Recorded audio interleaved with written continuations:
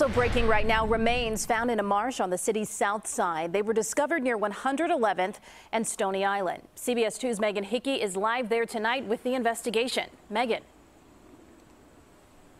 Brad and Erica, we know the remains were found here right on the edge of Big Marsh Park. We still don't know if they're human, but we do know they were found in the tall grass and that a cell phone and clothing were found nearby. Chicago got a, police got a call around 920 this morning from a company in the area that found the remains. Big Marsh is a 280 acre property owned by the Chicago Park District that was formerly a waste dumping ground. Right now, CPD is not classifying this as a death investigation.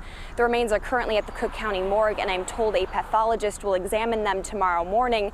If they are found to be human, further testing will be necessary. Live at Big Marsh Park, Megan Hickey, CBS 2 News.